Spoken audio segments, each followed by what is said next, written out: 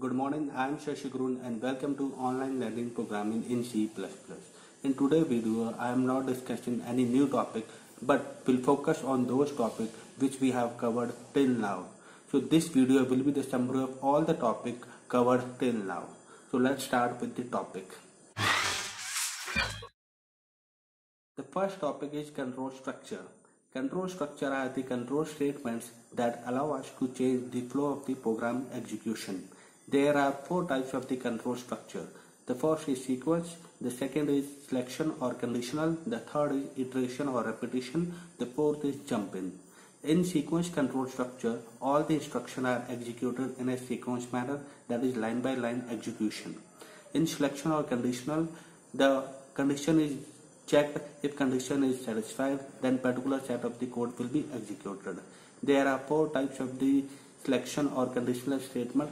The first is if, second is if else, third is if else if, and fourth is switch. In if statement, if condition is true, then only its if body part will be executed. In if else, if the condition is true, then its if body part will be executed. Otherwise, its else body part will be executed. In case of if else if, there can be many conditions. If first condition is not satisfied, then next condition is checked. Otherwise, else part will be executed.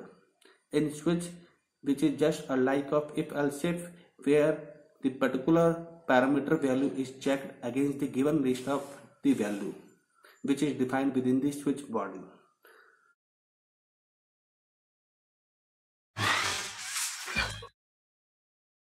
In looping, particular set of code is executed for multiple times till the condition is true.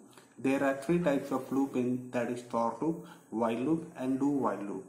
The syntax is different for all these loops but the components are same that is initialization part, second is conditional part, third is increment or decrement part that is updation. In for loop and while loop which is a entry control loop the condition is checked at the beginning but in case of do while loop the condition is checked at the end. The jumping control statement transfer the program control into another location like in break statement when this instruction is executed by the compiler then it comes outside the inclusion loop. Suppose this break statement is used within the for loop as this instruction is executed by the compiler then it immediately comes outside the loop. In case of go to statement, we have to specify the label. When this command is encountered by the compiler, the compiler transfer the program control into the specified label like the syntax is go to D. So it will transfer the program control into D label. The third is return. Many function return some value. So when this return statement is encountered, the function return value to the calling environment. Now the second topic is function. Function is a group of the statements that is used to perform some well-defined task. Two important terms are used in function that is function prototype and function definition. Function prototype means function declaration whereas function definition means function header plus function body. In case of function prototype, there is no function body, but in case of function definition, there is a function body where the instructions are defined to do some well-defined task.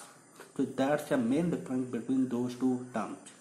The various components of the function are return type, the second part is function name, third part is which is optional that is parameter, and the fourth part is the function body. The return type means what type of value the function will return. The second component that is function name which means the name of the function like for example int sum. Sum is the name of the function. The third component which is optional that is parameter which are the variable that receive the value from the actual parameter that is used during calling environment and in the last that is function body which specify the set of the instruction to do some particular well-defined task. The third topic is the type of the variable. There are two types of the variable that is local variable and global variable. The local variable are defined within the function body whereas the global variable are defined outside the main function. The local variable is accessible within that function only whereas the global variable is accessible by all the function in the program. The fourth topic is parameters. Parameters are just a kind of variable that can pass the value or receive the value from the calling function. So there are two types of parameter that is actual parameter or formal parameter. The actual parameters are the kinds of the variable which are defined in the function call whereas the formal parameters are those kind of parameters which are defined in the function prototype or in the function header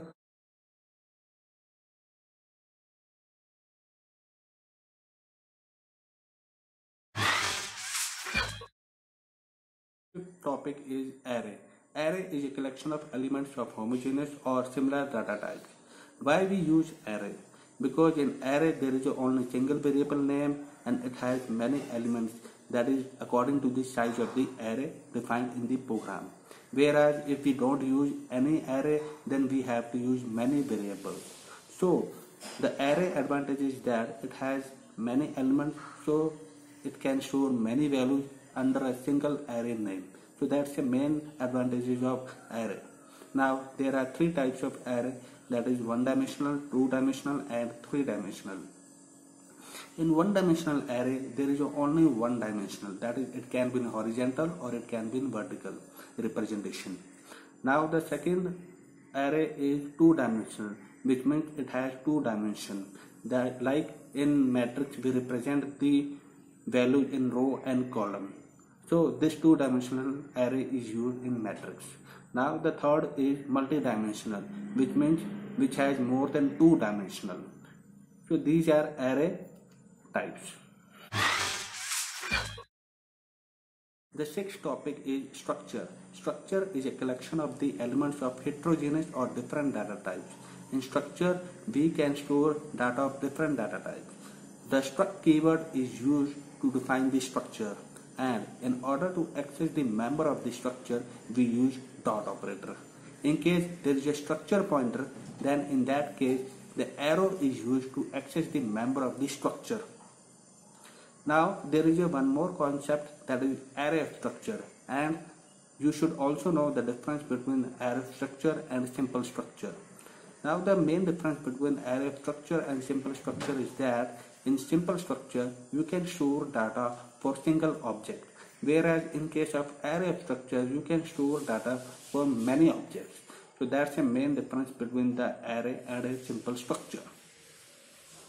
Also the simple structure and array structure can be passed in a function as an argument and it can also be returned from the function like we have already discussed in program also The seventh topic is string function. There are many string functions which are available in string.h header files like string length which find the length of the string, string copy which copy the string values into another string variable, string concatenation which joins two strings values, string comparison which compares the strings. If two strings are equal, the value returned will be 0. Otherwise, the value can be negative or in a positive.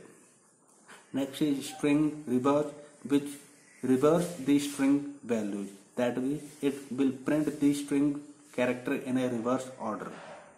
And string lower which converts the string character into lowercase and last is string upper which converts the string characters into uppercase. So these are some string functions which are available in a string.h header file.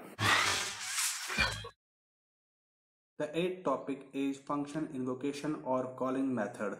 There are three types of function calling method. The first is call by value, second is call by reference, third is call by address.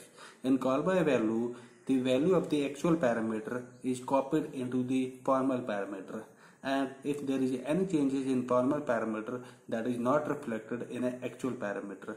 Like we have taken the example of swapin in swapin function we made changes in a formal parameter but that was not reflected in an actual parameter In second, that is call by reference, the reference of the actual parameter is passed into the formal parameter and if there is any changes in formal parameter that is also reflected in an actual parameter. Means whatever changes you do in a formal parameter that will also make reflection in an actual parameter. Now the third is call by address. In call by address, we pass the address of the actual parameter into the formal parameter and there is any changes in formal parameter then there also will be changes in actual parameter. So that's all about calling function methods.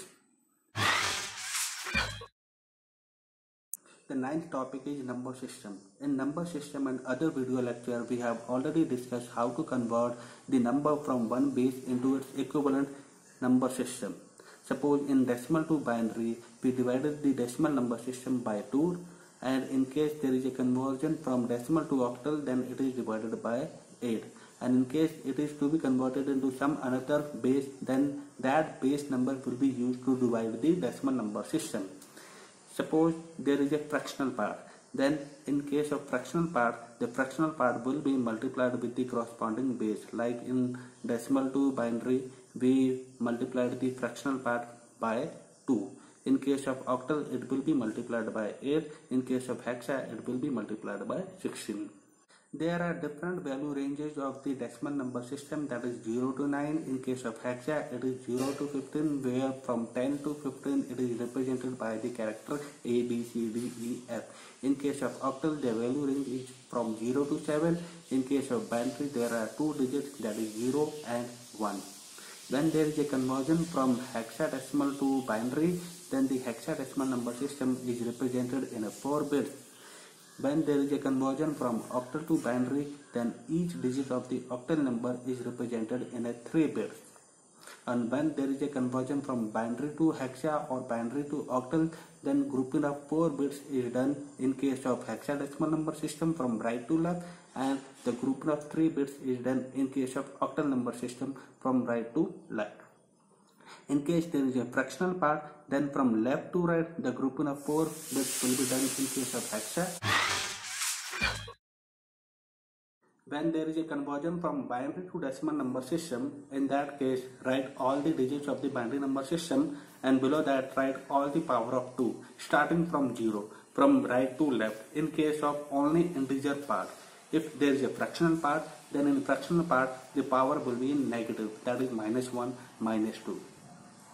Same steps will be followed in another conversion that is octal to decimal where the base number is 8 and in case of hexa the base number is 16 is taken. Now the last topic is discussion on interconversion. There can be some situation where the octal number system is represented in a equivalent hexadecimal number system.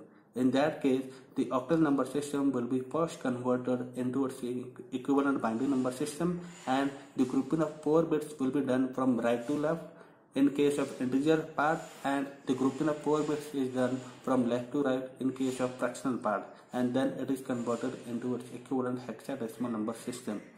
The another step is to convert the octal number system into its equivalent decimal number system and from decimal number system it is converted into its equivalent hexadecimal number system. There is another situation where the BCD code is to be represented in a binary form. Then the BCD code is first represented in a decimal form by grouping of 4 bits and from decimal form it is converted into binary form by dividing the decimal number by 2. In case of binary to BCD conversion, the binary is first converted into its equivalent decimal form and from decimal it is converted into its equivalent BCD code by representing each digit of decimal code in a 4 bits because BCD is a 4 bits binary form. So I hope you are able to understand the summary of all the topics which we have covered till now. Hope this video will be find useful for you and for the preparation of your exam also. Keep learning all the best and thank you.